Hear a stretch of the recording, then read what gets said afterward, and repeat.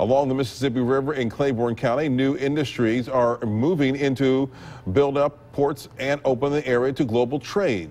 One natural gas company is just one month away from breaking ground. 12 News' Alex Love was at the town hall meeting.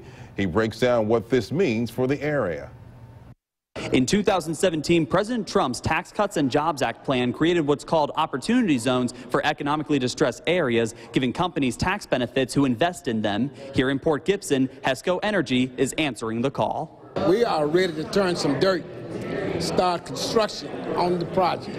Along with Port Gibson Mayor Fred Reeves, people of the town gathered at the community meeting eager to learn about the company HESCO Energy opening a plant in their area. I've lived here all my life, and uh, I've seen it go from a, a, viable city where you couldn't find a parking spot on Saturdays, Fridays. Now you don't even have a vehicle sitting on Main Street. HESCO's plan is to open a 6,400-acre plant to produce and sell liquefied natural gas to power ships and plants around the nation, totaling around 30,000 jobs we will first look locally before we will look outside of Claiborne County. And with that, we'll have training programs working with Alcorn State, also Hinds Community College, so that we can really help the people here have the first shot at securing these jobs. Liquefied natural gas, also known as LNG, is a fuel source odorless, non-toxic, and cooled at minus 260 degrees. Positioning on the Mississippi, it opens up Port Gibson to global trade.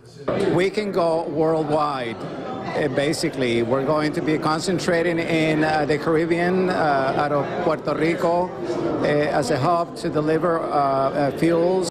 Representatives from Claiborne County schools were also in attendance, learning as HESCO builds up, the future for students will rise with more funding to schools and education opportunities. He did talk about uh, building new schools, he viewed our schools, and he did talk about technology, so hopefully we can get better things done for our children. Also in attendance at tonight's meeting was the president of Alcorn State University to see how she could get the school involved for students who want to go into the natural gas field, and members from the Louisiana governor's office to see how this could bring back an old ferry business that was right on the river. Reporting in Port Gibson, Alex Love, 12 News.